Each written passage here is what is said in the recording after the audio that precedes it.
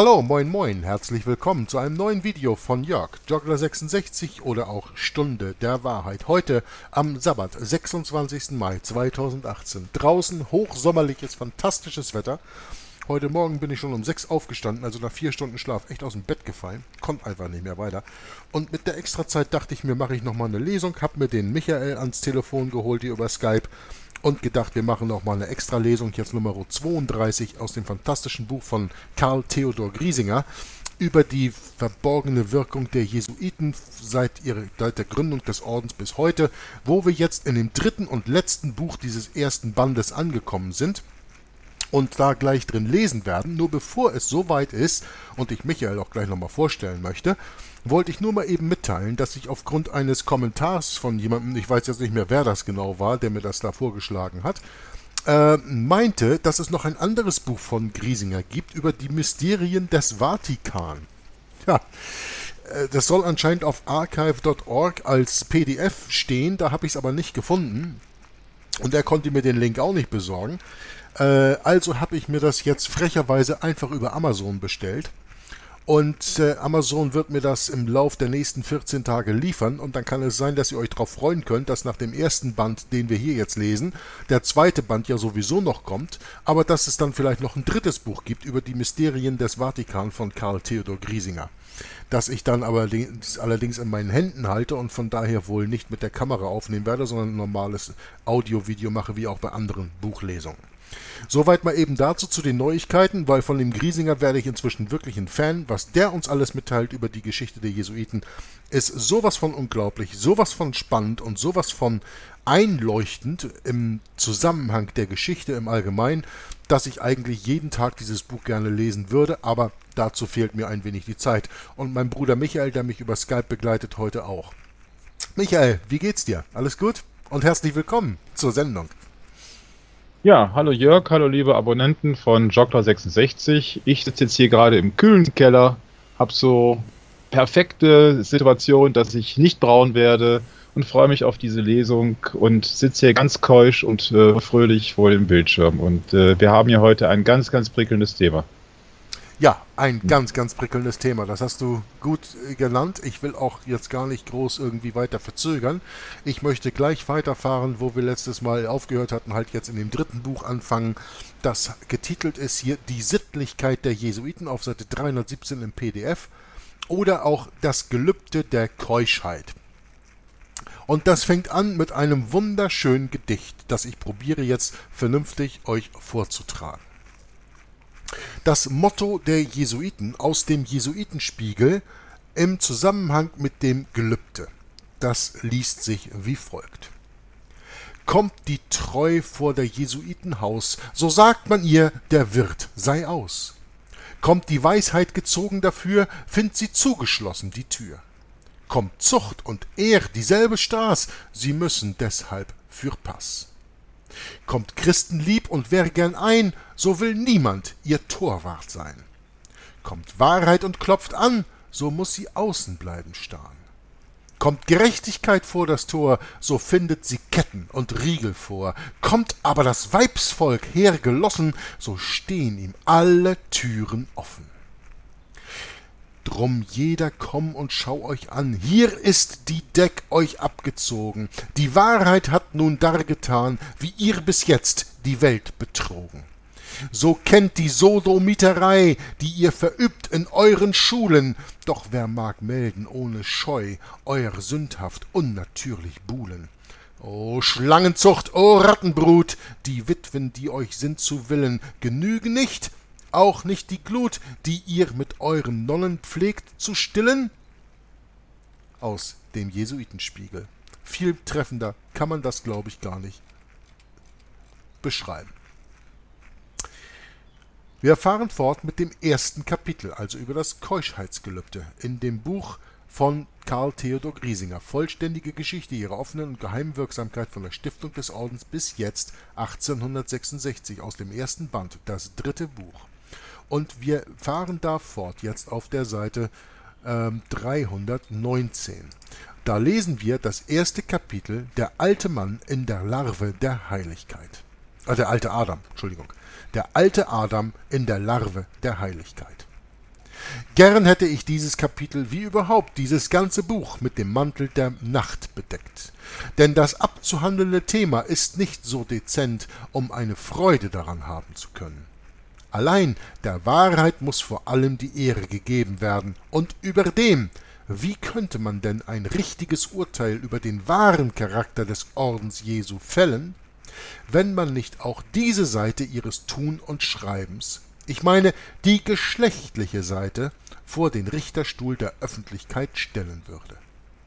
Ja, noch mehr, es steht unzweifelhaft fest, dass gerade die Enthüllungen in dieser Richtung stattfanden, das allererste Motiv waren, die Söhne Loyolas mit einem anderen Auge zu betrachten, als man sich in den ersten Zeiten ihrer, äh, ihrer Christen, ihrer, ja, Entschuldigung, als Existenz. Existenz, ja, ja, als man sich mhm. in den ersten Zeiten ihrer Existenz angewöhnt hatte und dass der Riesenturm der jesuitischen Macht, dessen Ungeheuerlichkeit ich im vorigen Buche geschildert habe, unmöglich hätte so bald zusammenbrechen können, wenn nicht die adamitischen Ausschweifungen der heiligen Väter den Grund, auf dem der Bau ruhte, untergraben hätten. Demgemäß würde meine Geschichtsschreibung von den Jesuiten eine rein lückenhafte sein, wenn ich, dem Zartgefühle zu viel Rechnung tragend, das Buch von der Sittlichkeit der Sozietät Jesu geradezu wegfallen ließe, und der Leser mag sich also immerhin darauf gefasst machen, Dinge zu hören, die ihn ebenso wohl mit Ekel als mit Abscheu erfüllen müssen. Dagegen werde ich mich befleißigen, selbst das Schmutzigste so darzustellen, dass man sich die Hände daran nicht besudelt, und überdem muss es mir erlaubt sein, meine Schilderungen so kurz als möglich zu fassen. Nun, hier muss ich eine kurze Bemerkung zu geben zu dem Griesinger, was er hier schreibt, bevor ich jetzt weiterlese. Die treuen Schauer meines Kanals werden sich erinnern, dass ich einmal angefangen habe, das Buch zu lesen von Charles Chiniquy, 50 Jahre in der Kirche Roms, auf Deutsch, und dass ich nach der ersten Lesung das enttäuscht abgebrochen habe, weil der übersetzende Herausgeber, damals das ist derselbe, der übrigens die Schlachterbibel herausgibt, deswegen war ich da immer sehr, sehr misstrauisch zu, nach dem Anfang des Buches einige Kapitel rausgestrichen hat und meinte, ja, wir wollen ja hier die römisch-katholische Kirche nicht an den Pranger stellen und deswegen müssen wir jetzt hier einige Kapitel rausnehmen, die werden wir nicht in dieses Buch mit aufnehmen. Das hat mich natürlich damals ekelhaft abwenden lassen von dieser Übersetzung des Buches und ich werde mir lieber das englische Original mal reinziehen, wo diese Dinge wohl alle mal drinstehen, diese Zensur. Und der Griesinger macht diese Zensur hier nicht. Er geht ein auf diese Dinge. Und noch ein weiterer Punkt. In dem Buch, ähm, im Englischen heißt das uh, The Woman, the Priest and the Confessional, also die Frau, der Priester und der Beichtstuhl, im Deutschen heißt der Buch, glaube ich, nur der Beichtstuhl, auch von Charles Chiniquy, findet man ganz am Ende einige Seiten mit lateinischen Sätzen darin, und diese lateinischen Sätze beinhalten das, was jedem Priester gelehrt wird, was er in der Beichte Frauen und kleinen Kindern fragen soll, an Fragen, die er stellt, sexueller Art. Ich habe mal versucht, das Lateinische mit Google Translator zu übersetzen, aber das geht nicht so einfach wenn man denkt, man gibt das äh, Lateinische ein und man kriegt dann eine vernünftige Übersetzung, sowohl ins Deutsche als ins Englische, das hat Google Translate nicht geschafft. Aber es gibt durchaus die Möglichkeit, Bruchstücke davon zu verstehen und das ist etwas, was jeden Christen sich mit Scheu davon abwenden lässt und mit Ekel davon abwenden lässt.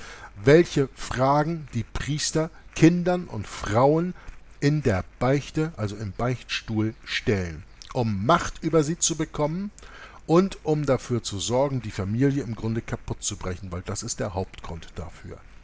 Und ähm, wer das Latein mächtig ist, der kann sich das Buch Der Beichtstuhl ja als PDF, glaube ich, besorgen von Charles Chiniquy und kann das mal lesen und kann sich dann hinten die lateinischen Dinge angucken und der versteht es vielleicht. Also mir ist jedenfalls das Grauen eiskalt den Rücken runtergelaufen, als ich auch nur teilweise diese Sätze habe lesen können, was der Priester den äh, sogenannten Büßer in der Beichte da wirklich fragt. Also da dreht sich mir als Christ absolut der Magen um. Und ich finde es sehr gut, dass Karl Theodor Griesinger hier das Problem zumindest nicht auf die lange Bank schiebt oder da irgendwelche, äh, wie sagt man das, ähm, irgendwelche Vorbehalte hat, sondern dass er das Kind beim Namen nennt. Und ich halte es hier mit dem Motto von Martin Luther, der gesagt hat, Friede, wenn möglich, aber die Wahrheit um jeden Preis. Hast du hierzu eine Bemerkung, Michael? Nee, ich habe mir noch nicht vorgelesen. Ich weiß ja noch gar nicht, welche schlimmen Dinge da kommen. Nee, ich habe auch nicht vorgelesen, aber hast du eine Bemerkung zu dem, was ich gerade gesagt habe? Das ist die Frage. Nein, ich kann mir das schon lebhaft vorstellen. Also das Mittelalter war ja nicht umsonst so dunkel und was da alles halt passiert ist und welche Informationen dann den Leuten aus der Nase gezogen worden sind, um sie nachher gegen die sie zu verwenden und halt einen Wissensvorsprung, Informationsvorsprung zu haben. Ähm, ich denke, das äh, hat sich wie vieles nicht geändert. Nee. Und wir müssen auch äh, einmal ganz deutlich eben sagen, dieses Buch beschäftigt sich ja eben fast ausschließlich mit dem Jesuitenorden. Aber wenn es um sexuelle Verfehlungen geht, der Priester, dann ist das nicht beschränkt auf Jesuitenpriester. Das ist etwas, das finden wir in der ganzen römisch-katholischen Kirche.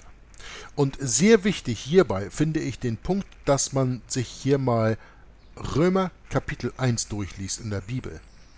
Da geht es um Sodomiterei. Und da hatten wir ja gerade eben schon mal in dem Gedicht ein wenig von gelesen. Sodomiterei und Pädophilie sind Resultate von dem, wie es in Römer 1 geschrieben steht, von der Idolatrie.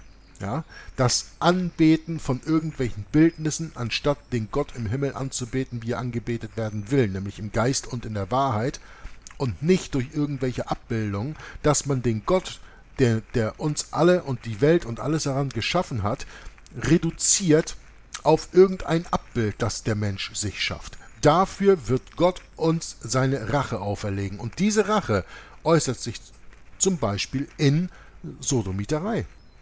Was ihr heutzutage wahrscheinlich mehr kennt unter dem Wort Homosexualität, ja, Schwulsein, welche Worte man auch immer daran gibt. Ich gebrauche die biblischen Worte, ja.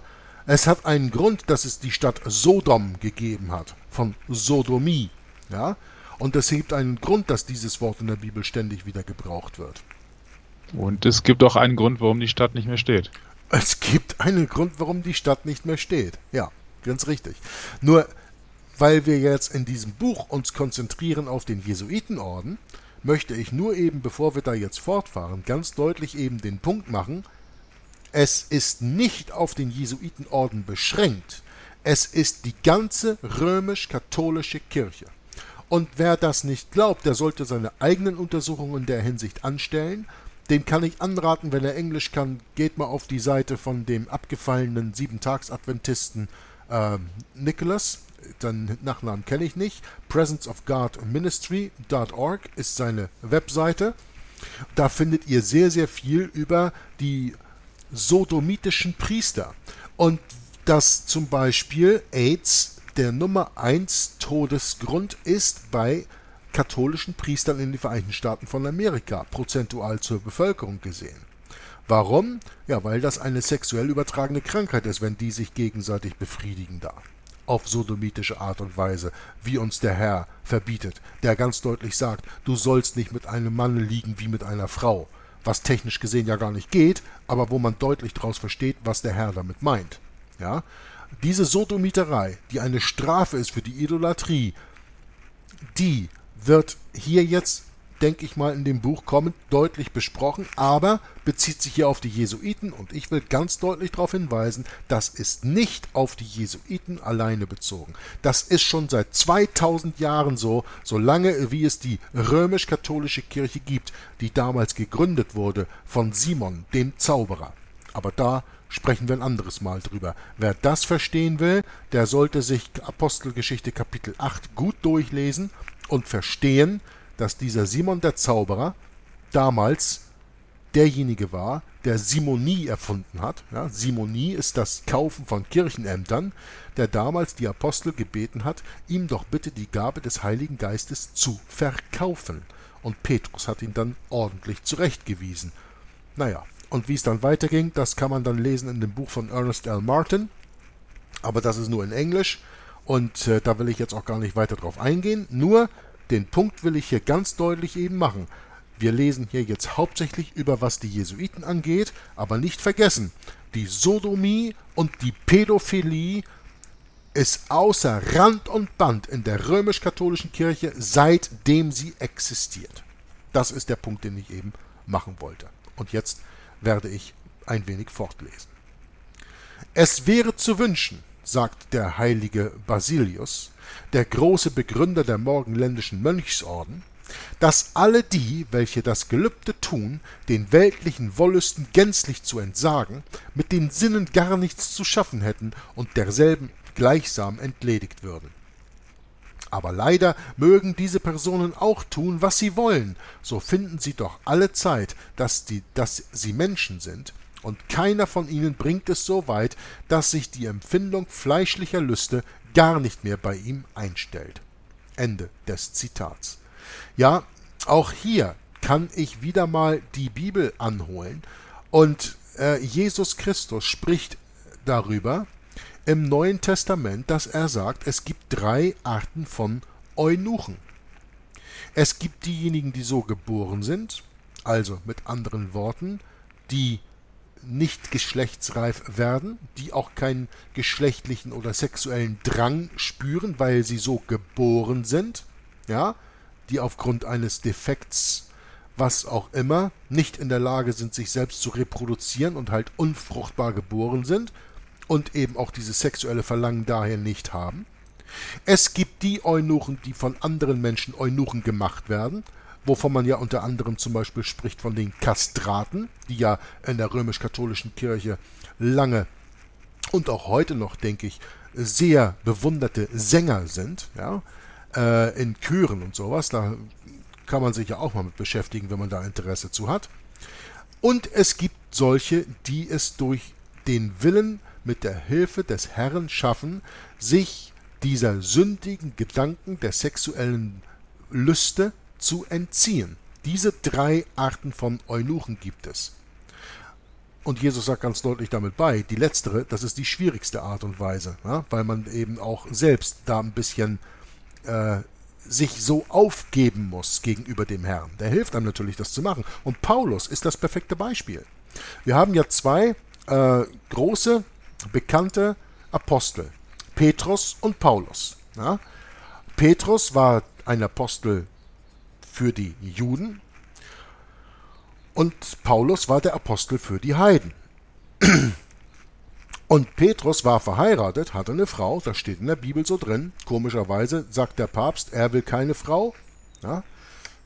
Wieder mal ein Grund, den Papst als Antichristen zu erkennen, aus der Warnung wie von äh, Daniel und anderen Büchern, wie wir ja schon wissen, dass er einen Gott veneriert, den seine Vorvater, den seine Vorvater, Vorväter nicht kannten, dass er äh, von Frauen nichts wissen will, das steht so in der Bibel drin. Also Petrus war verheiratet, aber Paulus war es nicht. Und Paulus hatte da auch kein Problem mit. Paulus wollte auch gar nicht verheiratet sein.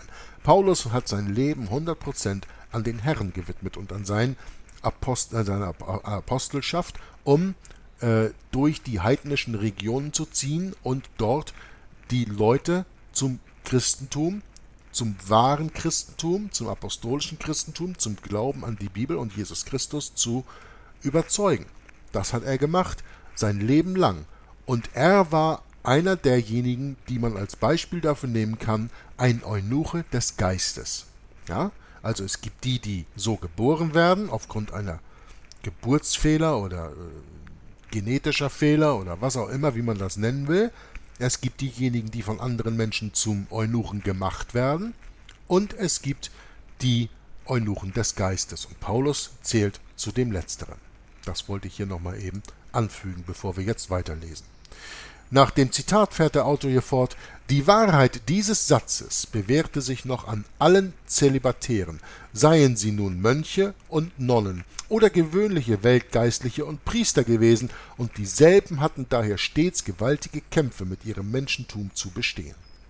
Viele hielten sich wacker und töteten ihr Fleisch durch Hunger und andere Mittel, Weit mehrere dagegen vermochten dem Drange des Blutes nicht standzuhalten und taten also, was andere Kinder Adams und Evas auch tun.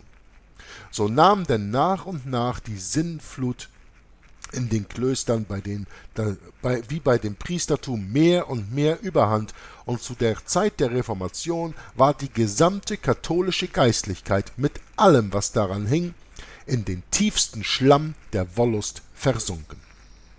Jedermann deutete mit Fingern auf sie. Jedermann verachtete sie, und eben in dieser ihrer grenzenlosen Liederlichkeit lag, wie ich schon weiter oben andeutete, ein Hauptgrund, warum die Reformation so riesige Fortschritte machte. Diese mussten natürlich die Söhne Loyo wussten natürlich, dies wussten natürlich die Söhne Loyolas nur zu gut. Und eben deswegen suchten sie sich hierin den vollkommensten Gegensatz mit den anderen Mönchen, den anderen Geistlichen zu stellen.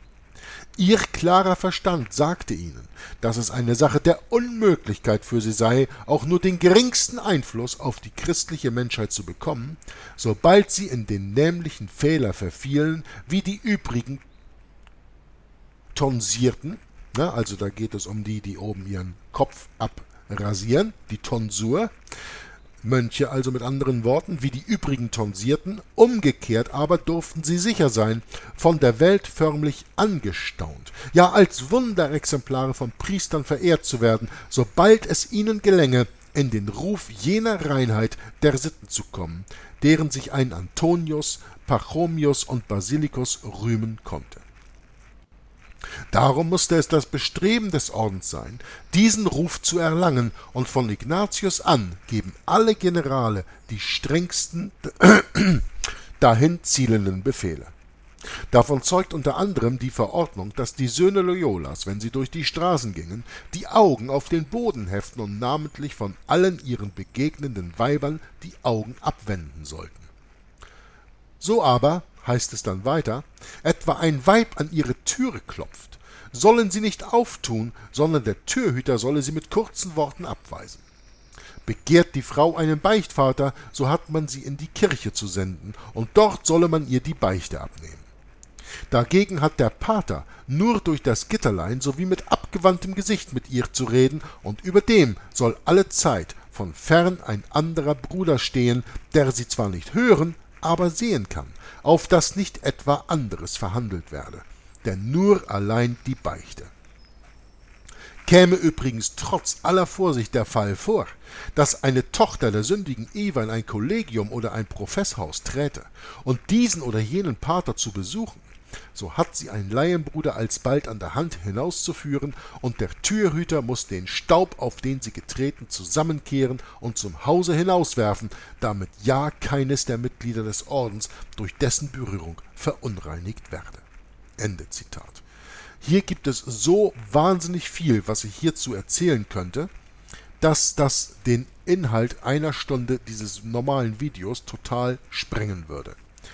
Es gibt zum Beispiel den Fall einer männlichen Person, die in einem Mönchskloster hochgezogen wurde, mir fällt jetzt der Name nicht ein, der in seinem ganzen Leben nie ein weibliches Wesen gesehen hat, und zwar weder menschlich noch tierisch, wurde von allem weggehalten, hat niemals ein weibliches Wesen gesehen in seinem ganzen Leben, wurde in einem Kloster erzogen. Ein anderer Fall, der vielleicht interessant ist, ist das Anfang der äh, Anfang des, äh, ich meine, 19. Jahrhunderts war es, als Napoleon in Spanien einfiel unter anderem. Äh, und es kann auch später nochmal gewesen sein, zu Anfang des 20. Jahrhunderts, aber es war jedenfalls im 19. Jahrhundert, bin ich ziemlich sicher ähm, dass sie da die Klöster, dass sie da Klöster aufgelöst hatten, und zwar Klöster von Mönchen und von Nonnen, wo sie unterirdisch Gänge gefunden hatten, die die beiden Klöster miteinander verbunden hatten, und nicht nur Gänge gefunden haben, sondern dass sie da auch äh, Kammern, sage ich jetzt mal, gefunden haben, eingegrabene Kammern gefunden haben, die voll waren mit Babyleichen, die hauptsächlich erstickt wurden kurz nach ihrem Tode. Also, wo die Mönche mit den Nonnen Unzucht getrieben haben, und das Ergebnis dieser Unzucht haben sie da unter der Erde vergraben. Das könnt ihr auch gerne mal selbst raussuchen. Aber so unzüchtig ist die römisch-katholische Kirche. Und wenn hier jetzt steht, dass hier also Regeln gibt nach dem Motto, dass ein Laienbruder alsbald an der Hand hinaus äh, die Frau vorausführen muss und den Staub dahinter wegkehren muss und so weiter und so weiter, das ist ja alles ganz schön in der Theorie, aber in der Praxis überhaupt nicht so wahr. Und da kommt dann noch zu, dass, das ist auch ein ganz wichtiger Punkt, ähm, dass, äh, was wollte ich denn jetzt sagen? ein ganz wichtiger Punkt, ja. Und dann, und dann verliere ich eben äh, den Draht hier. Ähm, dass die, ähm, die Beichte, die Ohrenbeichte, um die es hier ja geht, durch die Jesuiten erst als Sakrament im Grunde eingeführt wurde. Auch etwas, was ich erst letztens gelernt habe, durch Tom Fress nochmal zuzuhören in einer seiner Lesungen. Ja?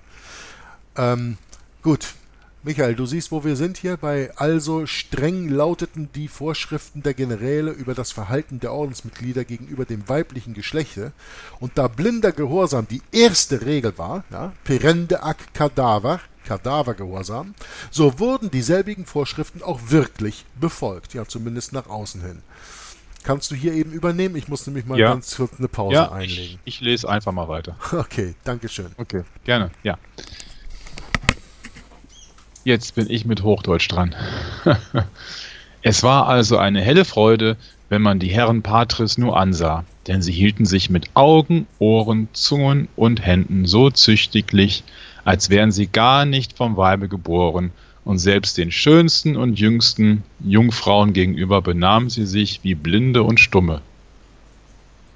Ja, es schien, als ob sie dem ganzen weiblichen Geschlechte den tiefsten Hass geschworen hätten, und wenn sie je vor den Leuten mit einer Frau oder Jungfrau zu sprechen gezwungen wurden, so taten sie dies mit einer Verachtung sondergleichen, indem sie nicht undeutlich merken ließen, dass sie die sämtlichen Töchter Evas für von Gott verworfene Kreaturen hielten, denen sie ewige Verdammnis gewiss sei.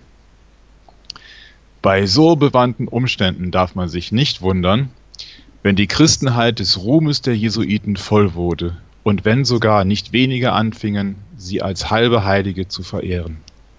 Auch sorgten sie selbst mit allem Eifer dafür, dass dieser Ruhm recht vielfach besprochen wurde, und insbesondere schrieben sie Erzählungen über ihre Enthaltsamkeitstugend nieder, bei deren Lesung das gemeine Volk ganz außer sich kommen musste weil nämlich ihre Tugend so gar groß war, so lautete das Lob, dass sie sich selbst gaben, standen sie in ganz außergewöhnlicher Gnade bei der Jungfrau Maria und dieselbe bewies durch, bewies dies durch gewisse Aufmerksamkeiten, die sie einzelnen von ihnen erwies. So erschien zum Beispiel dem Pater Beraldus in der St. Paulskirche zu Rom am hellen Mittag ein Engel vom Himmel und überbrachte ihm von Seiten der Mutter Gottes nebst vielen Größen, einen Gürtel, welcher die Eigenschaft hatte, dass jedem, der ihn auch nur berührte, alle sinnlichen Gedanken sofort vergingen. Da kommt der Keuschheitsgürtel wahrscheinlich her? Ja, sozusagen, ja. Ja. Gut, ja. danke schön, dass du übernommen hast. Ich muss mir irgendwann mal einen Katheter legen von hier zur Toilette. Echt, ja, das ist, ja, okay. das ist grauenvoll. Wenn man viel trinkt, das ist Thema. gut für die Gesundheit, aber das muss, alles, was reingeht, muss auch wieder raus. Äh, Entschuldigung. Ja. Aber schön, dass Michael das eben hat übernommen kann, übernommen kon übernehmen konnte. Ich so. habe das übernommen, aber ich habe mich hoffentlich nicht dabei übernommen. Okay. Nein, sicherlich nicht. Also gut.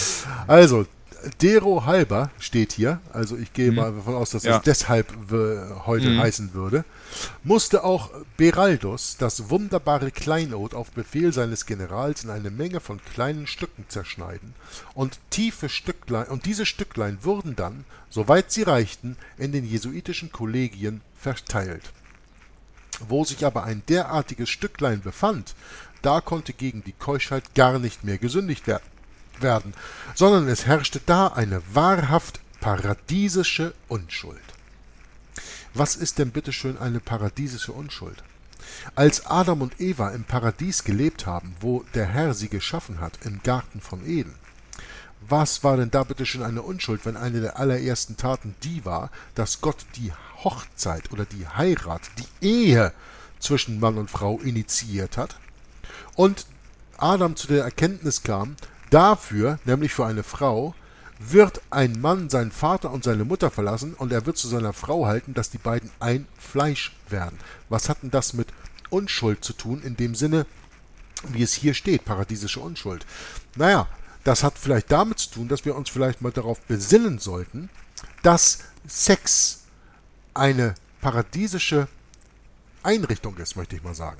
Eine göttliche Einrichtung ist, aber ordiniert und limitiert zwischen einem Mann und einer Frau. Und das ist etwas, was wir heute in der Welt komischerweise so gut wie überhaupt nicht mehr irgendwo erleben. Ich habe gestern noch, gestern oder vorgestern im Fernsehen kurz irgendwas gesehen, da ging es um Demonstrationen über Abtreibung. Ich glaube in Brasilien oder so war das. Da habe ich mir gesagt, das ist eine Diskussion, die braucht ein Christ überhaupt nicht führen. Weil wenn man ein christliches Leben lebt, dann gibt es gar keine Not, um abzutreiben, weil dann gibt es gar keinen Sex außerhalb der Ehe. Und das ist eben das größte Problem. Dieses Keuschheitsgelübde, das die Jesuiten ablegen, dieses Keuschheitsgelübde, das römisch-katholische Priester oder überhaupt jeder, der im römisch-katholischen Klerus beschäftigt ist, ablegen muss, dieses Zölibat, wie sie es nennen, dieses Keuschheitsgelübde, das die ablegen müssen, geht gegen die Natur. Es, der Mensch ist dafür geschaffen, von Gott geschaffen, um einen Helfer oder in diesem Falle eine Helferin zu haben. Dafür hat Gott die Frau überhaupt erst erschaffen.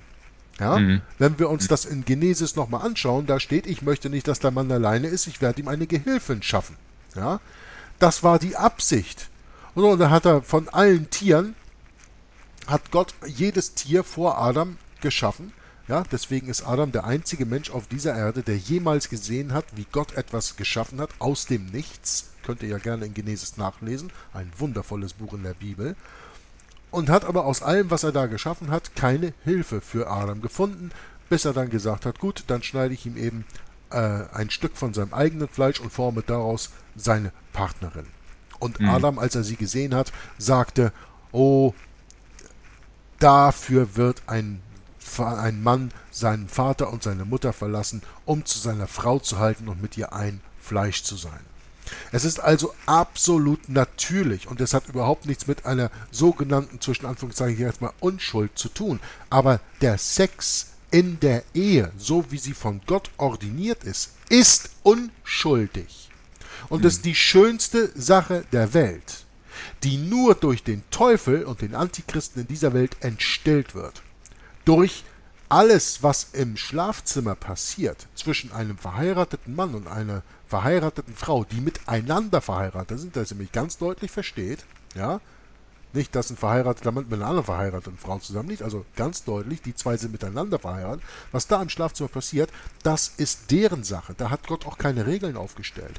Diese römisch-katholische Regel nach dem Motto, ähm, Sex ist nur dann zugelassen, wenn es geht, um, äh, um sich zu vervielfältigen also um sich zu vermehren, äh, das ist eine typisch römisch-katholische Lehre, das steht so in der Bibel nicht drin. In der Bibel steht drin, seid fruchtbar und mehret euch. Da steht aber nicht drin, habt nur Sex, um euch zu vermehren. Ja?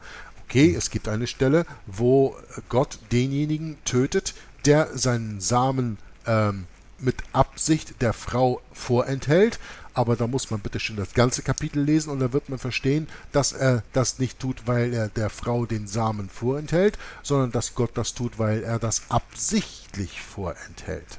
Ja? Also ab, mit, der, mit der Frau Sex hat, mit der er nicht verheiratet ist, in der Absicht keine Kinder zu machen. Also, mhm. mit daher die Ehe bricht. Ja? Und es ist im Grunde, dieses ganze Sexgetue äh, ist so einfach zu erklären, biblisch. Jeder Sex außerhalb der Ehe ist Unzucht. Jeder Sex. So, das heißt, Sex vor der Ehe ist Unzucht. Sex außerhalb der Ehe ist Unzucht.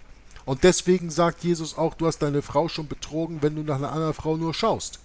Weil du die Begierde hast. Ja? Begierde ist ja auch wie wir wissen aus dem zehnten Gebot, ja, du sollst ja nichts begehren, was äh, deines Nachbarn ist oder auch seine Frau nicht. Also du sollst keine anderen Frauen begehren, außer die, die du selbst hast. Das ist Sünde. Ähm, der Punkt, den ich machen will, ich hoffe, dass das wird hier gut verstanden ist. Sex ist eine wunderbare, von Gott ordinierte Sache für den Menschen. Aber der Mensch und vor allen Dingen der vom Teufel geleitete Mensch hat dafür gesorgt, dass das in den Schmutz gezogen wird. Vor allen Dingen, wenn wir in die heutige Zeit gucken mit Pornografie und was es nicht sonst noch alles gibt auf dieser Welt. Ja? Hat mich immer erstaunt. Die Amerikaner, die ja so angeblich ein protestantisches Land sind, angeblich so gottestreu sind, wenn du da in Miami als Frau oben ohne auf dem Strand rumläufst, dann kriegst du eine, dann kriegst du eine schwere Geldbuße oder wirst sogar in den Knast gesteckt. Aber gleichzeitig hat Amerika die größte Pornoindustrie der ganzen Welt. Heuchlerisch, ne? Und genau hm. das ist, was diese Welt heute ist. Und genau das ist, was die römisch-katholische Kirche war, ist und immer sein wird. Heuchlerisch. Das Gute vorstellen, aber das Schlechte meinen. Mit anderen Worten, von Gutem das Schlechte machen und vom Schlechten das Gute machen. Genau wie es in der Bibel geschrieben steht. Ja? Und da wollte ich doch noch mal eben kurz drauf eingehen, bevor wir jetzt hier weiterlesen. Hast du vielleicht noch einen Kommentar dazu, Michael? Den spare ich mir fürs Ende auf, denn der ist genauso lang wie deiner. Und okay. okay, das kannst du dann gerne tun. Ja. Dann lese ich jetzt in diesem Fall hier jetzt mal eben fort. Einem anderen Ordensmitglied, dem Pater Julius, der anno 1585 im Collegium Romanum Professor war, erschien alle Macht einer wunderbar, äh, alle Nacht eine wunderbar schöne Jungfrau, die gar zierlich auf der Laute spielte und ihn anreizte, mit ihr der Liebe zu pflegen. Der Pater klagte seine Not dem Rektor, und dieser wies ihn an, sobald die Jungfrau wieder erscheine, aufzustehen und sich so lange zu geißeln, bis sie verschwunden sei. Natürlich befolgte der Pater gleich in der nächsten Nacht diese Weisung und geißelte sich so furchtbar, dass das Blut in Strömen floß. Da hörte die Jungfrau auf zu spielen und sagte mit lieblicher Stimme O frommer Pater, ich bin der Jungfrau Maria ja Magd, und diese hat mich gesendet, dass ich dich in deiner Keuschheit versuchen sollte. Du aber hast ritterlich gekämpft und ritterlich überwunden. Darum siehe da, nimm diesen Kranz der Jungfrauschaft, welchen wir die heilige Mutter, welchen dir die heilige Mutter Gottes sendet, und bleibe beständig wie bisher, damit du dereinstens in dem Chor der keuschen reinen Jungfrauen die unverwelkliche Krone des ewigen Lebens empfangest. Mit diesen Worten verschwand sie und ward fortan nicht mehr gesehen. Den Kranz dagegen der aus mancherlei wunderbar herrlichen und ewig unvergänglichen Blumen bestand, ließ sie zurück, und derselbige hatte ganz die nämliche Wirkung wie der Keuschheitsgürtel des Pater Becanus. Aus Hochachtung übrigens für die Jungfrau Maria und weil die Blumen so gar so schön waren, zerstückelte man ihn nicht, sondern legte ihn später zu den anderen Heiligtümern, deren sich der Orden Jesu zu erfreuen hat, und dort verblieb er in immerwährend sich gleichbleibender Frische. Ja, genauso wie viele römisch-katholische Kirchen behaupten, ein Stück der Vorhaut Jesu Christi zu haben oder ein Stück des echten Kreuzes von Jesu Christi zu haben. wenn man all die zusammenlegen würde, diese Stücke des Holzes, dann kann man da eine neue Arche draus bauen. Ja? Also, diese Reliquien, ja, das ist genau das, was ich am Anfang meinte. Das ist das, wie es in der Bibel geschrieben steht, du sollst dir keine Abbildung machen von irgendwas, was im Himmel, was auf der Erde oder was in den Wassern unter der Erde ist. Du sollst dich dazu nicht niederknien und du sollst sie nicht anbeten. Ja? Du sollst dir keine Abbildung machen und du sollst auch keine Idole haben. Und diese Reliquien sind ja nichts anderes als Idole. Ja? Ganz ähnliche Historien kursierten doch noch viele, und in jeder derselben wurden die Söhne Loyolas als wahre überirdische Wesen hingestellt, die nur mit den Erzengeln Michael, Gabriel und Raphael zu vergleichen wären.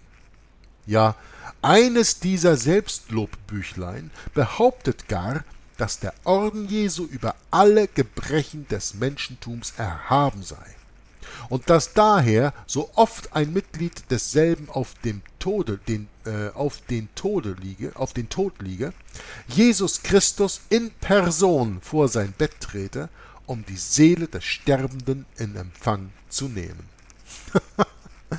das ist natürlich auch gleich wieder ein äh, Kommentar auslockend über die unsterbliche Seele, das ein absoluter Quatsch und babylonische Lehre ist. In der Bibel steht ganz deutlich geschrieben, wenn wir tot sind, dann schlafen wir. Und die Toten wissen von gar nicht, um das jetzt mal eben ganz bisschen platt zu sagen. Die wissen gar nicht, ja. Die unsterbliche Seele ist eine babylonische Lehre.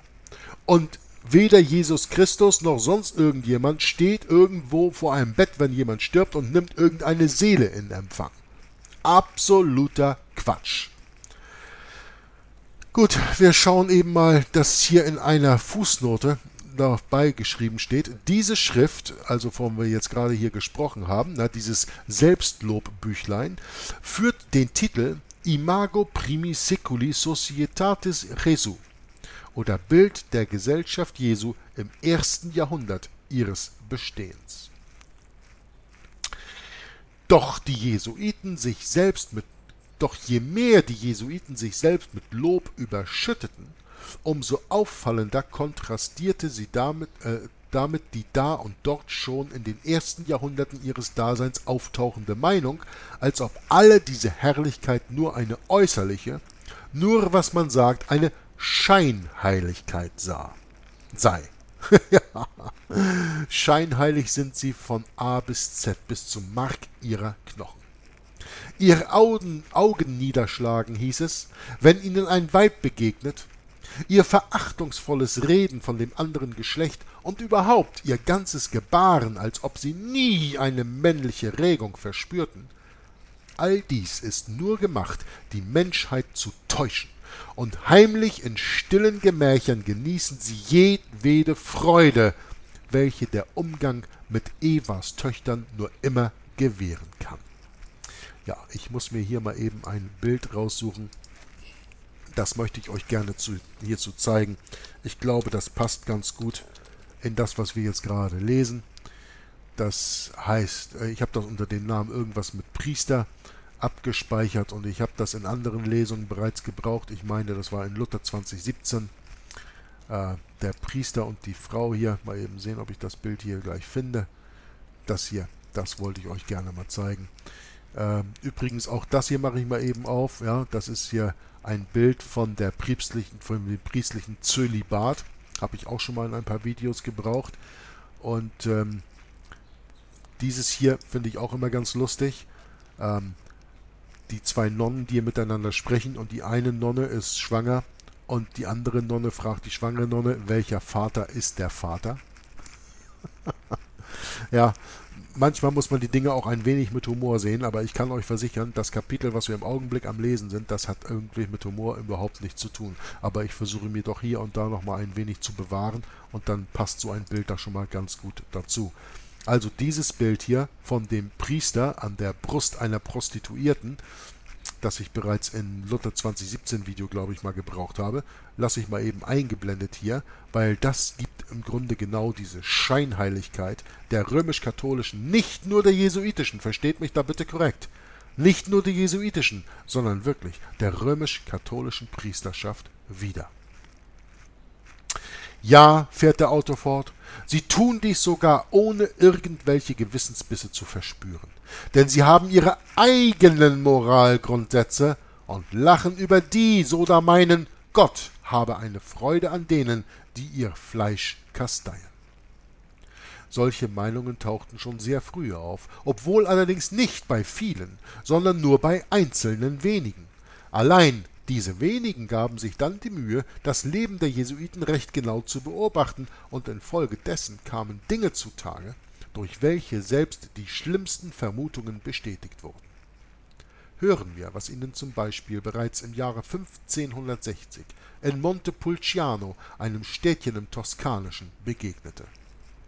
Dort hatten sie von den milden Beiträgen, welchen ihnen die Menge, welche ihnen in Menge zuflossen, ein Kollegium gegründet, und darum stand der Bau nebst der daranstoßenden Kirche, so drängte sich alles in ihre Beichtstühle.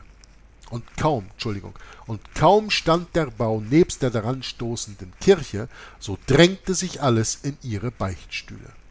Insbesondere mussten sich die Herren Patres des Vertrauens der Montepulcianerinnen bemächtigen, und Jungfrauen wie Frauen beichteten ihnen mit der liebenswürdigsten Offenherzigkeit. Ja, und hier nochmal eben kurz die Anmerkung von mir. Lest das Buch Der Beichtstuhl von Charles Chiniquy und ihr versteht, was die Frauen da alle mal beichteten. Welche sexuellen Gelüste die auch haben, die dann von den Priestern missbraucht wurden und werden. Und Charles Chiniquy, der selbst 50 Jahre in der Kirche Roms durchgebracht hat, hat das alles aufgezeichnet in seinem, Brief, in seinem Buch Der Beichtstuhl. So entstanden, fährt der Autor fort, nach und nach verschiedene zärtliche Verhältnisse zwischen Beichtigern und Beichtigerinnen. Ja, äh, ich glaube, es ist in dem Buch Der Beichtstuhl Kapitel 3 oder Kapitel 5, das habe ich in Englisch mal in Hour of the Truth in einer Sendung gelesen, wo eine Frau sich so in ihren Beichtvater verliebt, dass sie dafür ihre Familie verlässt, äh, und zwar vorgibt, ertrunken zu sein, und dann mit ihm in eine andere Stadt zieht und sich als Junge verkleidet, um ihm mehr oder weniger dienen zu können. Wie gesagt, das Buch der Beichtstuhl sollte man gelesen haben. Echt interessant. So entstanden nach und nach verschiedene zärtliche Verhältnisse zwischen Beichtigern und Beichtigerinnen, wie also Charles Cheniquy hier im 19. Jahrhundert äh, beschrieben hat in dem Buch Der Beichtstuhl. Allein beide Teile wussten sich so gut zu verstellen, dass, obwohl man da oder dort etwas munkelte, nach längere, noch längere, doch längere Zeit alles ziemlich verborgen blieb, bis endlich die Eifersucht einer alten Jungfer dem Fass den Boden eindrückte. Der Rektor des Kollegiums nämlich mit Namen Johann Gombart Gombarte, ist das ein G? Ja, ne? Oder Sombart? Ja, ich denke auch ein G. Ein G, ne? Ja. Mit Namen Johann Gombart hatte es mit zwei Schwestern zugleich zu tun, einer älteren und einer jüngeren, und verteilte anfangs seine Liebkosungen ziemlich gleichmäßig. Später jedoch begünstigte er das jüngere Beichtkind ziemlich auffallend, und das ältere geriet darüber so in Wut, dass es den ganzen Handel dem Bruder entdeckte. Der Bruder verbot sofort seinen beiden Schwestern allen Umgang mit dem Rektor, sowohl im Beichtstuhl als außerhalb desselben, und wurde zugleich beim Bischof klagbar. Dieser aber ließ unversehens Haussuchung im Kollegium halten, und nun entdeckte man eine Menge von galanten Liebesbriefen, welche zwischen den Jesuiten und ihren weiblichen Beichtkindern gewechselt worden waren. Zu gleicher Zeit wurde es ruchbar, dass einer der frommen Väter einer Dame bei einem Besuch habe Gewalt antun wollen, ohne jedoch zum Ziele gekommen zu sein dass dagegen ein anderer dieses Verbrechen an einem armen Mädchen auf dem freien Felde wirklich begangen habe, während ein dritter sich abends aus dem Kollegium stahl, um die Nacht bei einer berüchtigten Kurtisane zuzubringen. Nun geriet natürlich ganz Montepulciano in Aufruhr, und wenige, wenig hätte gefehlt, so würde man das jesuitische Kollegium gestürmt haben. Doch besannen sich die Einwohner bald eines Besseren und überließen die Bestrafung der Schuldigen dem bischöflichen Stuhle, der sofort zu einer scharfen Untersuchung schritt. Diese wartete aber der Rektor Gombart nicht ab, sondern er entfloh vielmehr bei Nacht und Nebel, und der General Laines ließ ihn sofort, stieß ihn sofort aus dem Orden. Den übrigen Herrn Patribus aber geschah nichts anderes, als dass man sie in andere Kollegien versetzte denn das zu Montepulciano musste geschlossen werden, weil die Einwohner ihnen alles Einkommen entzogen und jeden Umgang mit dessen Bewohnern unbedingt abschnitten. Auch hier kann ich nicht helfen, muss ich nochmal einen Kommentar geben. Wir haben hier gerade eben ganz, ganz toll diesen einen Satz gelesen. Den übrigen Patrius aber geschah nichts, als dass man sie in andere Kollegien versetzte. Wenn ihr euch mal mit der pädophilen Agenda des Vatikan beschäftigt und ihr folgt solchen Leuten wie Kevin Arnett, die versucht haben, selbst vor dem Weltgericht den Vatikan vors Gericht zu ziehen, was natürlich nicht klappt, weil der Papst sagt, er ist der Richter aller Menschen, ohne selbst von einem Menschen gerichtet werden zu können. Wenn ihr euch damit beschäftigt, dann werdet ihr merken, dass zum Beispiel in diesem einen Film ist das sehr gut dargebracht, Ähm, der spielt aus dem, äh, von dem Boston Globe. Jetzt komme ich im Augenblick nicht auf den Titel. Auf den Titel des Films. Ich weiß nicht, ob du mir helfen kannst, Michael, ob, äh, ob du das weißt, wie der Film heißt. Nee, gib mal einen Tipp. Ähm, ja, wenn ich das wüsste. Ähm, da komme ich jetzt echt nicht drauf. Ich habe den Film mal gesehen. Ähm, der ist auch, der ist auch gar nicht so alt. Der ist erst ein paar Jahre alt. Und ähm, ich komme jetzt aber wirklich nicht auf den Titel des Films. Das tut mir leid. Ähm, das ist eben so mit Live-Video. Und wenn man sich nicht vorbereitet, dann kann man eben nicht auf alles kommen. Und äh, der Titel, also es geht auf jeden Fall um in, in Boston, in den Vereinigten Staaten von Amerika, um einen pädophilen Ring innerhalb der römisch-katholischen Kirche. Also die Priester in Boston, und zwar eine hohe Prozentzahl aller Priester, wird hier nachgewiesen, dass sie pädophilische äh, Aktionen ausgeführt haben mit ihnen, befohlen, mit ihnen schutzbefohlenen Kindern. Ja? Spotlight, kann das sein? Spotlight, Spotlight, danke, genau der Spotlight. ist das. Ja, Spotlight, Spotlight, genau. Ja. Genau, der ist das, der Film. Und was ist das Resultat? Und das zieht sich wie ein roter Faden durch den ganzen Film, der natürlich auch nicht mit äh, einem sogenannten Happy End endet, nach dem Motto von, oh, jetzt ist die Pädophilie aber vorbei und jeder Priester angeklagt und verurteilt und hat die, die gerechte Strafe bekommen, wenn es dafür überhaupt eine gerechte Strafe äh, vom Menschen her geben kann für solche Sachen, weil schließlich wird mit dieser Pädophilie äh, der Charakter eines Kindes dermaßen verändert, dass daraus ein ganz anderer Mensch wird, als er ursprünglich hätte werden können.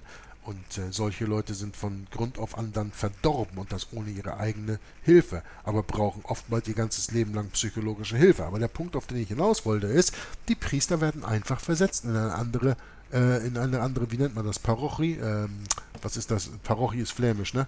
Was heißt Diakonie das? oder so? Ja, weiß ich nicht. Also in Bistum, in, in, anderen, in einen anderen Kirchenkreis, wie auch immer, kriegen eine andere Gemeinde, äh, werden hm. in eine andere Gemeinde versetzt oder was auch immer. Und das ist heute noch immer gang und gäbe. Hier in Belgien ist auch ein ganz tolles Beispiel. Hier wurden bereits verschiedene äh, Priester und alles äh, der Pädophilie bezichtigt. Und das Einzige, was man nachher gemerkt ist, von, oh, der ist jetzt aus der Kirche weg, den haben sie irgendwo anders hin versetzt. So passiert das heute auch noch. Und wisst ihr warum? Weil römisch-katholisches Recht über dem Zivilrecht steht und das Zivilrecht die Möglichkeit gar nicht hat, um jemanden aus dem Klerus zu verurteilen sondern die Kirche kann das nur tun. Und wenn man sich unter Kirchenrecht stellt, dann sorgt die Kirche dafür, dass du eben auch im Schutz bist. Ähm, Papst Franziskus ist Papst gewesen, weil man ihn vor Gericht zerren wollte wegen seiner Rolle in dem schmutzigen Krieg in Argentinien in den 80er Jahren. Mit über 30.000 Toten, die die Jesuiten da alleine zu verantworten hatten die sie teilweise lebendig aus Flugzeugen und Helikoptern geschmissen haben über Meer. Ja? Könnt ihr euch ja mal erkundigen über den dreckigen Krieg. Der Papst davor, wo die Bild-Zeitung getitelt hat in 2005, wir sind Papst! Benedikt der 16., Kardinal Ratzinger, der 25 Jahre Vorsitzender der Glaubenskongregation war, also dieser neue schöne Name, den sie für die Inquisition erfunden hatten, der wurde zum Papst gemacht, weil ihm die äh, Kriminaltechnologen auf die Spur gekommen sind über einen pädophilen Ring. Und um ihn zu schützen, wurde er halt Papst gemacht. Dann bist du nämlich nicht mehr antastbar. Ja? Und so gibt es in der Vergangenheit noch viele, viele Fälle von Päpsten, die halt, ich sage jetzt mal, befördert wurden zu diesem Posten, eben aus solchen oder anderen ähnlichen Gründen. Ja? Die werden einfach versetzt, wie der Autor das hier auch schreibt. Man hat sie in andere Kollegien versetzt, nicht nur in diesem Fall, weil das in Montepulciano jetzt geschlossen werden musste, sondern weil ein solcher Priester für die Gemeinde dann nicht mehr tragbar ist und ja, man gibt den, man, man schickt die dann in eine andere äh, Kirchengemeinschaft, also schickt den, äh, schickt den Priester in eine andere Gemeinde und die wissen ja noch nichts von dem. Und dann fängt die ganze Scheiße wieder von vorne an, dass man eben kindlich, das Kind mal eben deutlich beim Namen zu nennen. So, mal eben gucken, wie weit sind wir denn schon in unserer Lesung? Oh, schon 50 Minuten fast. Uiuiui. Schade, ich bin gerade so richtig am Warmwerden hier. Also werden wir nochmal den nächsten Absatz lesen und dann vielleicht mal beenden, weil uns ja äh, mein Freund Michael angekündigt hat, dass er auch noch einen äh, schönen Kommentar zum Schluss hat. Das ist aber ein mhm. langer Absatz hier. Mhm. Gut, ich fange ihn trotzdem an. Das war gewiss eine hässliche Geschichte über Montepulciano, was man heute eigentlich nur noch vom Wein her kennt. Da spricht ja keiner mehr von irgendwelchen Pädophilie oder äh, sexuellen Skandalen der römisch-katholischen Kirche von damals. Das war eine gewiss, äh, gewiss eine hässliche Geschichte. Allein ihr folgten bald noch viel hässlichere und gemeinere. Und dieselben kursierten wie ein Lauffeuer durch die ganze zivilisierte Welt. Das sollte man auch zwischen Anführungsstriche setzen. So dass die heilige Sozietät Mühe hatte, sich vor dem üblen Geruch, der von ihr ausströmte, zu wahren. So kam die Geschichte des Pater Majotius, der sich in seinem schönen Beichtkinde der Müllerin von Az, Azenan, oder Azenei, Azen, Azenei, bei Bourges, ja, das wird wohl in äh, Französischen sein, Arsenei, bei Bourges verging, in jedermanns Mund, und es erschien sogar anno 1576 eine eigene Broschüre über das Skandalum, also über diesen Skandal.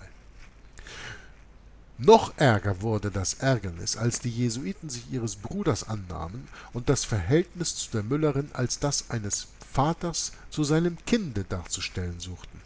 Denn nun regnete es mit Satyren, Satiren und die beißendste derselbe war die, welche anno 1610 unter dem Titel Dank, Ab, Dankadresse der Butterhändlerinnen von Paris an Herrn äh, Courbusson, Lobredner der Gesellschaft Jesu, erschien.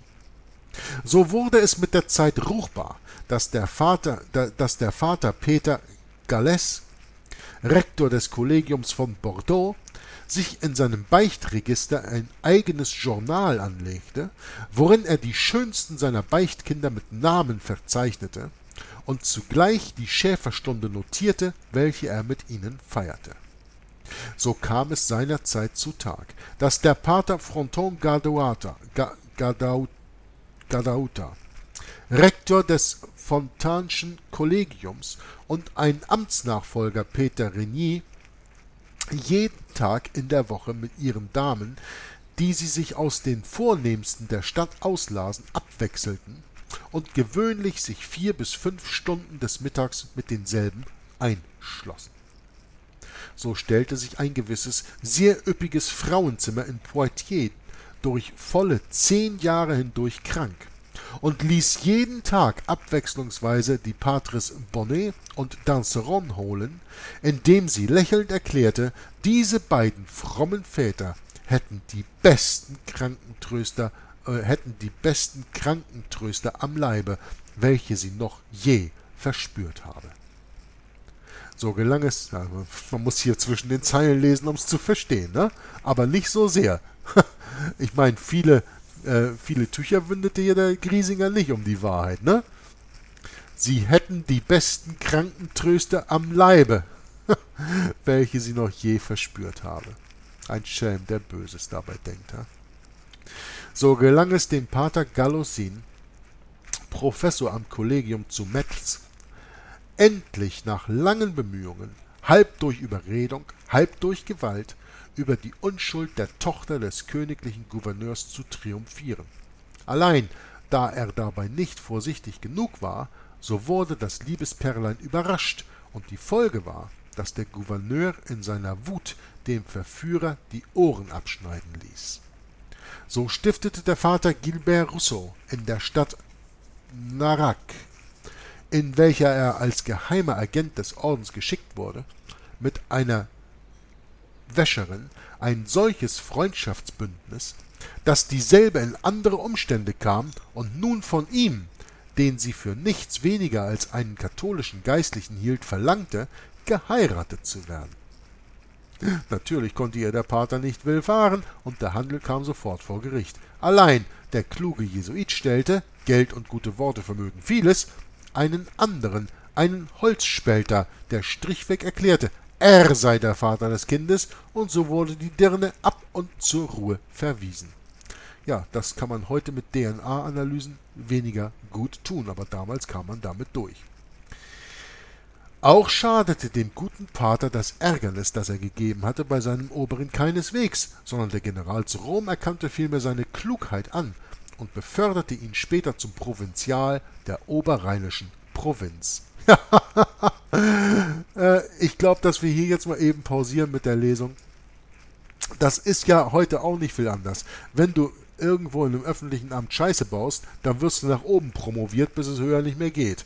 Ja? Manche Leute werden Bundespräsident, manche werden Bundeskanzler, manche werden hier und da in der Privatwirtschaft gesetzt, wie zum Beispiel der Herr Schröder, der sich ja auch irgendwo in ein warmes Netz gesetzt hat bei Gazprom. Die Leute finden schon irgendwas und man kennt das ja unter anderem von Polizei und Militär auch. Lass dir was zu Schulden kommen, ja, dann wirst du halt promoviert. Ne? Äh, gut, mal eben schauen, wie weit geht denn dieser Absatz noch? Ja, ein bisschen zu lange, ne? Um die Stunde voll zu kriegen, Michael, wollen wir hier mal aufhören und dann lasse ich dich jetzt an Wort, ans Wort, dass du uns eben Aha. einen Schlusskommentar geben kannst. Ist das ja. in Ordnung für dich? Ja, dann ich mache mal einen Schlusskommentar. Genau. Ich habe hier eine ganze Seite mitgeschrieben während deiner Lesung und bin da jetzt äh, zumindest zu meinem, zu meinem Schluss gekommen. Und zwar sehe ich halt einfach immer eine totale Opposition gegenüber Gottes Gebot. Und ich nehme mich da nicht mit aus. Ich denke, jeder von uns hat schon mal irgendeine Verführung gehabt, der er nicht widerstehen konnte. Also zumindest werden wahrscheinlich die wenigsten da jetzt äh, äh, anders äh, andere Erfahrungen haben. Aber das Thema, was ich jetzt hätte, ist, ähm, dass ich da halt einfach einen, immer den Unterschied sehe zwischen Gottes Liebe und zwischen dem Trieb, zwischen der Triebhaftigkeit. Und äh, ähm, zwar insofern, indem ich jetzt mal ein ganz kurzes Negativbeispiel nehme von einem angeblich Erleuchteten, der sich Bhagwan schimpfte und der eigentlich äh, ganz anders hieß und äh, der jetzt äh, 93 Volt, also nee, an, an, andersrum, der von seinen Anhängern verlangte totale Gehorsamkeit, äh, Leben nach seinen Regeln, abgeschlossen von der Welt, äh, keine materiellen Bedürfnisse etc. etc., der dann aber hunderte ähm, Damen um sich herum scharte und zudem äh, er einen ganz anderen Lebensstil pflegte, drück's mal so aus. Und dieser Mensch hatte nachweislich, wohl wenn ich den Quellen glaube, 93 Rolls Royce, führte also alles andere als ein spirituelles Leben, sondern ein ganz materialistisches, materielles Leben. Und wenn ich dann halt einfach den Unterschied sehe ähm, zwischen dem, was gepredigt wird und dem, was dann tatsächlich dann gelebt wird, da kann einem ja dann nur schlecht sein. Wasser predigen oder Wein saufen, Michael, wenn ich dich da mal eben Genau, ganz darf. genau, ja. ganz genau, ganz genau. Da wollte ich drauf hinaus, genau. Und das ist ja der Unterschied irgendwo zwischen dem wahren Christentum und zwischen vielen anderen Religionen. Wenn ich im wahren Christentum, da habe ich einen Monotheismus, da glaube ich an einen wahren Schöpfergott. Und da gibt es einen Begriff, ich weiß jetzt nicht, ob der jetzt äh, biblisch ist, zumindest ist er wohl altgriechisch und heißt Agape. Agape beschreibt wohl nach meinem Verständnis die allumfassende Liebe. All, Weltall. Also alles umfassende Liebe zu Gott. Dass man halt nicht die Schöpfung anbetet, sondern den Schöpfer anbetet. Und das ist diese Sache, dass man dann auch, ähm, ja, auch den, die Frau als Mensch wahrnimmt, als Geschöpf Gottes und dieses Agape steht im krassen Gegensatz zu dem Trieb, zu der Triebhaftigkeit, die in dieser materiellen Welt gelebt wird. Und im Gegensatz ähm, zum Polytheis Polytheismus, wo also dann mehrere Götter herrschen oder wo ein Gott herrscht, der sagt, ihr könnt alles machen, was ihr wollt, bis hin zu Alistair Crowley, der sagte, tu, was du willst, das ist das ganze Gesetz. Und wenn ich dann sehe, dass in vielen anderen Religionen oder Weltreligionen, wie beispielsweise im Islam halt die Mehrehe erlaubt ist, also dann Polygamie vorherrscht und eben nicht biblisch, wie in der Bibel im, Kontra im ganz krassen konträren Gegensatz dazu, Gott gesagt hat in der Genesis, im ersten Buch Mose, ich, es ist nicht gut, dass der Mensch allein sei, ich will ihm eine Gehilfin machen. Er spricht nicht davon, ich will ihm einen Club geben. Er sagt nicht, er kann ruhig Frauen nehmen, so viel er will. Er hat ja gesagt, ich will ihm eine Gehilfin machen. Und da ist für mich ein, der Riesenspagat oder der Riesengegensatz zu den äh, fast allen anderen Religionen, die halt da auf äh, Meerehe und äh, Sodomie und allem da und alles ist erlaubt dann halt setzen. Und das ist für mich halt einfach eine totaler Kon klarer Gegensatz zur römisch-katholischen Kirche beispielsweise auch, ähm, die dann halt äh, auch nicht biblisch vorgeht, die halt eben die Frau ähm, ja da auch in einem ganz anderen Kontext sieht. Und wenn man sich die römische Geschichte anschaut mit ihren Festen, mit ihren Saturnalien, die sie da feiern, da gibt es einen ganz berüchtigten Film, der heißt Caligula zum Beispiel von dem Kaiser, der so Tiberius nachfolgt und im Alter zwischen ähm, Anno Domini 37 bis 41 gelebt hat, welche Ausschweifungen da in Rom beispielsweise unter deren damals vorherrschenden ähm, heidnischen Religionen da äh, ausgeübt worden sind, dann steht das für mich im absoluten krassen Gegensatz zu der biblischen Paradieslehre, wo halt der Schöpfergott Adam eine, eine einzige Gehilfin gemacht hat.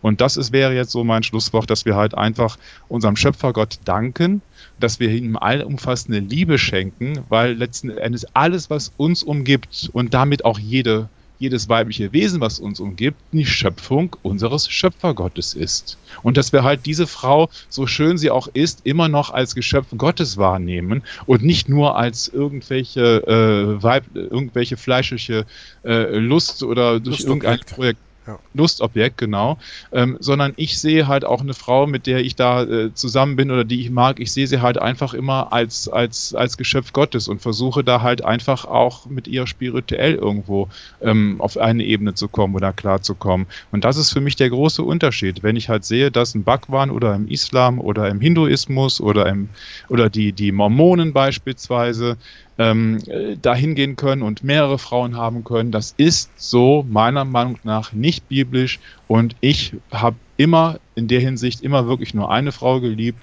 und haben wollen und, und, und ganz toll gefunden. Und ich denke halt einfach, das kommt aus der, geht aus der Schöpfungsgeschichte hervor. Er hat uns eine Gehilfin gegeben. Und das ist für mich Liebe, wo ich sage, so, diesen Menschen nehme ich an und mit diesem Menschen möchte ich zusammen sein und für diesen Menschen möchte ich da sein. Und da teile ich auch nicht und da erfülle ich halt einfach Gottes Gebot. Ja, das war ein sehr schönes Schlusswort von dir.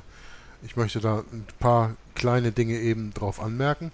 Du mhm. sagtest, wie zum Beispiel Alistair Crowley, ja, tu was du willst, das ist das ganze Gesetz, das ist aus seinem mhm. Buch des Gesetzes genommen. Äh, mhm. Es gibt da ein schönes Lied, äh, den Titel, der fällt mir jetzt nicht ein, aber der steht auf, der, äh, auf dem Album von äh, Genesis, gesingen, gesungen von Phil Collins, We Can Dance. Mhm. Äh, und da geht es um diese TV, also Fernsehprediger. Ja, Jesus, Jesus He Knows Me heißt Ah das. ja, genau. Genau, danke. Mhm. Jesus He Knows Me. Wobei ja. er in einem Stück singt, Do as I say, don't do as I do. Tue, wie ich sage, tue nicht, wie ich handle. Und das mhm. ist das, was ich mit der heuchlerischen römisch-katholischen Kirche meinte, was wir vorhin auch schon mal angesprochen hatten, wo ich sagte von ja, Wein predigen, äh, Wasser predigen, aber Wein saufen, ja, oder Wein oder wie auch immer, ich glaube, so geht ungefähr der deutsche Spruch, ja, oder Wasser mhm. predigen und Sekt saufen, wie auch immer. Nach dem Motto, die römisch-katholische Kirche und natürlich damit auch die Jesuiten, die ja ein Teil davon sind, predigen das eine, aber tun inzwischen das andere. Ja, an ihren Werken sollst du sie erkennen. Ne? Und deswegen steht in der Bibel, dass Jesus Christus deutlich gesagt hat, an ihren Früchten werdet ihr sie mhm. erkennen. Mhm. Äh, wenn man die Früchte kennt, Michael, und das ist das Problem der meisten, sie beschäftigen sich nicht mit den Werken, die diese Leute äh, machen und von damit nicht mit den Früchten, die diese Werke hervorbringen. Und wenn ich das nicht tue, dann kann ich das nicht erkennen. Ich meine, ähm, mich hat man als Kind immer gewarnt, äh, diese Vogelbeeren, die sollst du nicht essen. Und diesen Goldregen da, sieht so wunderschön aus wie diesen Baum, wunderbar, lieblich, verführerisch, du sollst du nicht essen, weil das Zeug ist giftig. Und genauso ist das mit der römisch-katholischen Kirche auch. Sie gibt sich nach außen hin als ein scheinendes Beispiel für Jesus Christus, aber nach innen hin ist sie ein Sack voller toter Knochen. Genau wie Jesus Christus es auch gesagt hat. Ne? Von außen seid ihr äh, schöne Leiber, äh, Alabaster, was weiß ich wie, aber innen seid ihr gefüllt mit äh, Knochen. Also so ist es zumindest im Englischen. Ich kann jetzt nicht die deutsche Übersetzung diese heuchlerische, äh, äh, dieses heuchlerische Tun, mit allem dem, was in unserem System heutzutage damit so verbunden ist. Und ja, nicht gegen dieses heuchlerische Angehen, weil das ist ja nicht politisch korrekt. Ich finde, du hast ein sehr, sehr schönes Schlusswort getroffen. Ich fand nur diesen einen Satz von Phil Collins aus diesem Lied da, ähm, Jesus, Jesus, He Knows, he knows. Me, äh, ja. fand ich, fand ich nochmal sehr gut angebracht damit, weil das war ein Lied, das fand ich immer ganz, ganz toll. Genau wie das Lied von äh, Deepesh Mode, äh, Personal Jesus, mhm. was mit demselben Thema umgeht. Äh, natürlich sind das beides absolut äh, vom Teufel kontrollierte Gruppen, aber es gibt ja auch hier und da doch mal ein paar Wörter, die, die Wahrheit sind. Nur das Problem ist, jeder, der das Lied kennt, der singt es gerne mit, aber ver verinnerlicht sich niemals, was der Text eigentlich bedeutet und was damit wirklich gemeint ist. Er ist ja schon es ist schon witzig, wenn du jetzt Genesis nennst als ein von Teufel kontrollierte Gruppe, wenn du dich an, wenn du dich an das Lied erinnerst, das ich persönlich ja gut finde. Ähm, aber da heißt das bekannteste Lied von Phil Collins, äh, I can hear it calling in the air tonight, oh Lord. ja. ja. Ja, das Lied kenne ich auch. Ja. Na gut, dann bringen wir okay. das hier mal mit zum Abschluss. Ich denke, dass wir unseren äh, Zuhörern und Zuschauern ein wenig, oder ich hoffe das zumindest, dass wir ihnen ein wenig nicht nur die Ohren, sondern auch die Augen geöffnet haben über die heuchlerische Tätigkeit des Vatikan, der römisch-katholischen Kirche und natürlich das Tun der Jesuiten, ganz sicherlich in Bezug auf Sexualität, die im Grunde, wie der Autor hier auch irgendwo, aber dann halt nicht im richtigen Kontext meines Erachtens schreibt, unschuldig ist, weil Sex an sich ist die schönste Sache der Welt, wenn sie betrieben wird auf die Art und Weise, wie Gott es, unser Schöpfergott es ordiniert hat von Anfang an. Ja, ich habe da, ich hätte da eine Anmerkung zu, auch wenn die sehr persönlich ist. Ich habe mal eine Frau gekannt, mit der war ich ähm, dann auch intim. Und sie sagte zu mir, also wenn du mich anfasst, das ist ganz anders als alle Männer, die ich jemals in meinem Leben gehabt habe. Und da habe ich sie nur angeguckt und habe gesagt, ja, das Liebe. Ja, das ist, äh, das ist schön. Ich habe da auch vor wenigen Jahren eine Erfahrung mitgemacht, aber die behalte ich jetzt mal hier für mich. ähm, das war nicht in ich der Hinsicht, aber das war auch, das war auch, ja, bei, bei mir ging das darum, dass das ging darum, dass ich dann halt ähm, bei der Frau in, in der allerkürzester Zeit, nachdem wir uns dann gesehen hatten, äh, um ihre Hand anhielt weil ich äh, nicht in die Sünde geleitet werden wollte, durch Sex mit ihr außerhalb der Ehe zu haben. Ich wollte mich ehelich zu ihr verpflichten.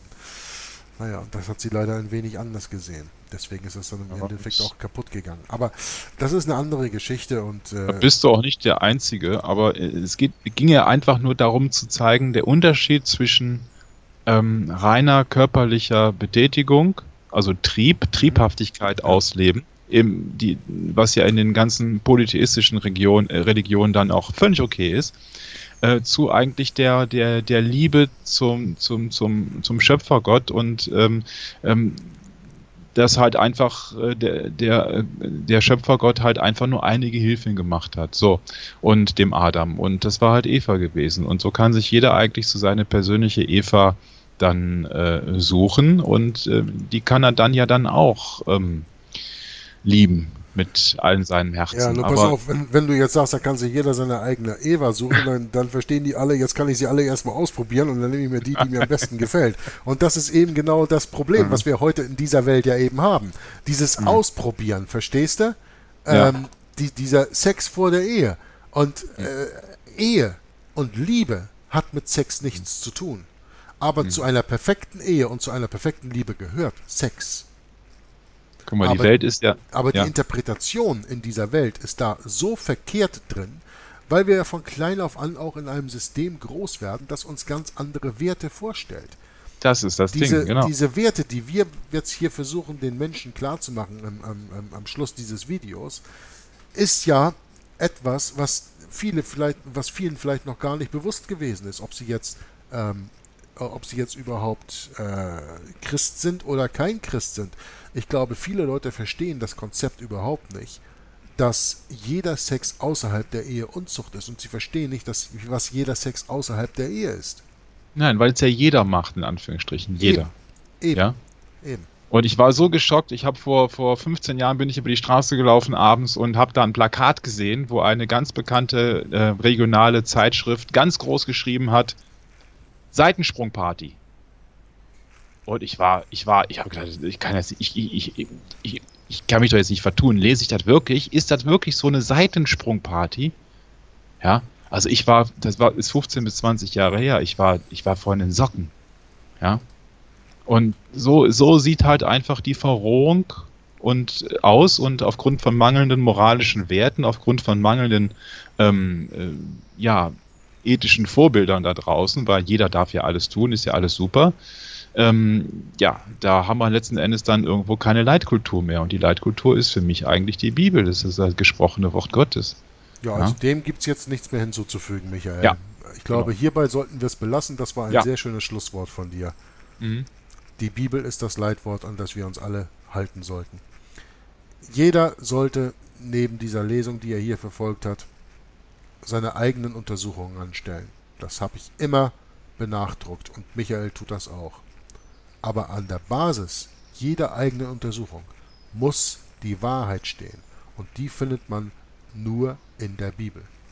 Also erst die Bibel und dann alles andere. Weil wenn ihr die Bibel versteht, gelesen habt, glaubt und wenn ihr die Bibel lebt, dann ist alles andere für euch auf einmal so deutlich, wie heuchlerisch, betrogen und verzogen und versündigt diese Welt ist, in der wir heute leben. Michael, ich danke für dein Kommen und äh, deinen Beitrag zu dem Lesen heute. Auch, dass du für mich kurz eingesprungen bist, als die Natur einen starken Ruf ausgelöst hat. Und äh, bis zum nächsten Mal. Ich freue mich drauf, dich wiederzusehen. Ich freue mich drauf, meine äh, Zuschauer wiederzusehen oder wieder zu hören. Auch die Kommentare, die ich inzwischen auf diesen Videos bekomme, sind ja sehr positiv in der Hinsicht, dass diese Lesung gut angenommen wird. Auch wenn ich jetzt erst elf Videos hochgeladen habe. Wir sind heute in Nummer 32. Wie sich das entwickelt, werden wir noch sehen. Aber wie gesagt, ihr kriegt noch mehr Griesinger von mir. Wir fahren nächstes Mal mit diesem Buch, Band, äh, Buch 3 in Band 1 fort. Danach kommt Band 2 mit Büchern 4, 5, 6 und 7. Und dann vielleicht noch das neue Buch Mysterien im Vatikan von Griesinger. Für heute danke fürs Zuhören, danke fürs Zuschauen, danke fürs Kommentieren. Euch noch einen schönen, gesegneten Sabbat oder anderen Tag, an dem ihr das auch immer schaut. Dir auch, Michael. Bis zum nächsten Mal. Maranatha.